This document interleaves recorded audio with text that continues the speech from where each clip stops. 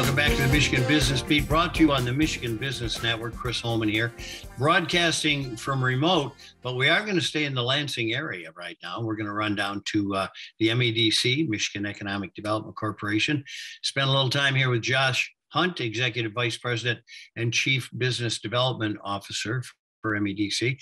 And uh, Josh, it was good seeing you. Uh, first of all, thanks for making time for us today, but it was great seeing you up at the policy conference.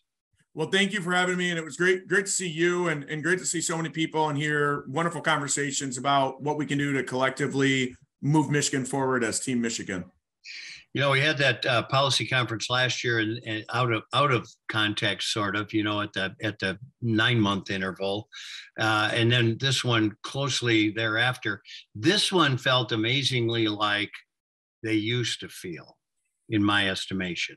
It did. It really did. It felt. It felt like uh, it was a great crowd up there. Wonderful conversations and, and great announcements as well about uh, what's happening today and, and what we can do for for going forward. I, I felt uh, like it was a very positive week for everyone. All right, we're going to get into that a little bit, but first, let's give everybody a kind of a primer, a, a reacquaintance to uh, what you do as the Chief Business Development Officer. Yeah, absolutely. Uh, at the MDC overall, our, our role is really making sure that all 10 million Michiganders and all 83 counties of the state see themselves in the economy and see themselves as fully participating in the great things happening here in this state. Specifically, in my role, I'm working with businesses across the state to make sure that when they are looking to invest, that they're looking at Michigan as the first place they look and the last place that they look uh, before they would decide where to make that investment take place. We know that we need great communities and we can benefit from the talent and workforce here that we have in the state. Uh, and I'm responsible for making sure that companies continue to choose to invest in those great communities for the talent workforce that we have here in Michigan.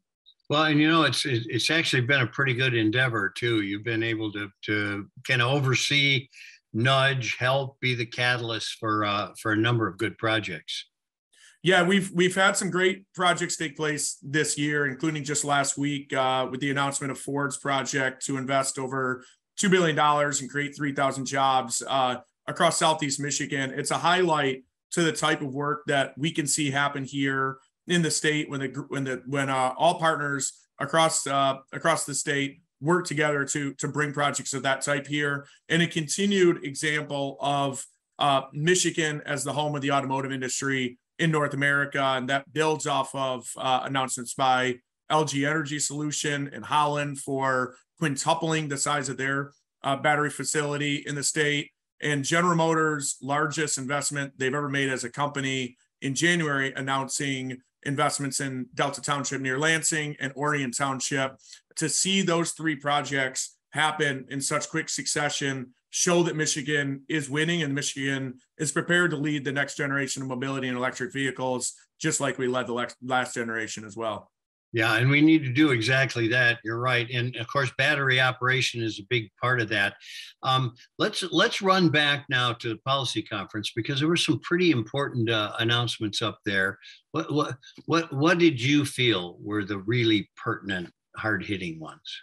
Yeah, I think two that really stood out to me as as being important were the Ford announcement that I just uh, that I just mentioned that highlighted the opportunity that we have for the state to continue to lead uh, in automotive manufacturing, but it builds off of what Ford uh, also has been working on with their research and development center and headquarters transformation in Dearborn, as well as the innovation district uh, that they are building in Detroit near the train station uh, shows that Michigan can win in all aspects of the automotive and mobility.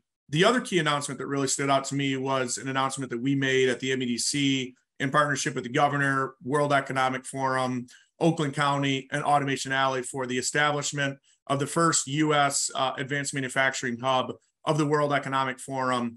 And what that does is that, that takes us from the great things that we see happening in advanced manufacturing in Michigan onto the global stage so that others across the country and around the world continue to see Michigan as a home, not just of mobility and automotive manufacturing, but all advanced manufacturing uh, like medical device, aerospace, defense, and others, that Michigan can be where the future of manufacturing is uh, across North America and around the world.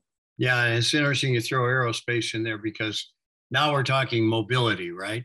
Transportation. Absolutely. Yes. Yes. Absolutely. They, they really come into play. Uh, four months left in the fiscal year. What, what are some of the priorities that you're going to be working on here?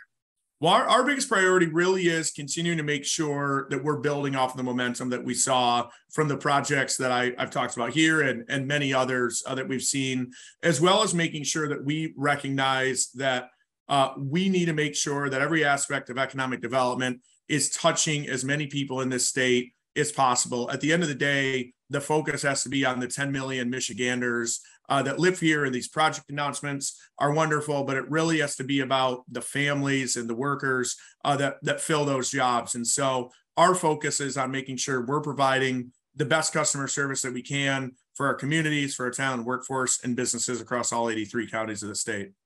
Well and let's and let's face it we are in our best economic circumstance here in michigan when the middle class is doing its best so we we need that we absolutely do that's absolutely right Josh, always good to see you. Um, I wish we'd had more time on the island, but we did get to throw some barbs at each other across the room.